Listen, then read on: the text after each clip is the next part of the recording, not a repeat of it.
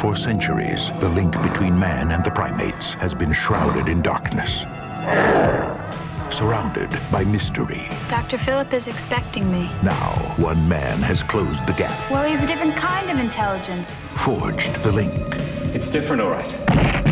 and discovered what has always been missing. Don't get involved in their squabbles. They sort them out. Link, what happened in here? Always forgive them, whatever they do.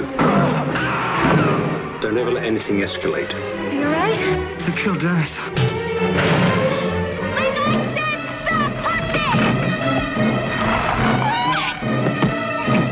Open the door now! We've got to outthink him. How?